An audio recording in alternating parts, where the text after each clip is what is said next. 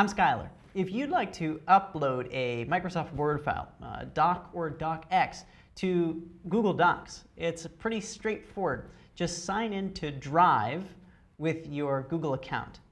You may also have downloaded Google Drive to your Mac or PC, in which case it created a folder and you can just drag things into that. So I'll open my Google Drive folder, for example, and I'm going to open up another Finder window. This would work in Windows too, and click Dropbox.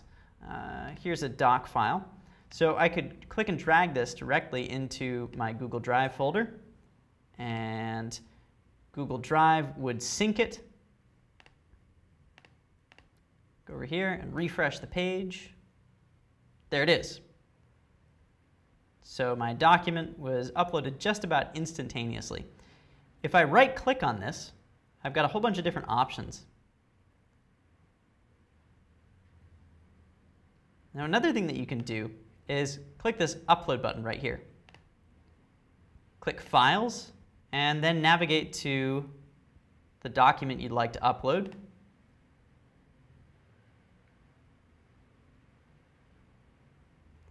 Then click Open and click your settings. You can convert this uploaded files to Google Docs format. That means that after the doc is finished uploading, it'll convert it to Google Docs so that it'll display absolutely right on whichever device you use to sign into Google Drive. That's it. Relatively simple process, and you've just uploaded a Microsoft Word document to Google Docs. Thanks for watching. I'm Skylar.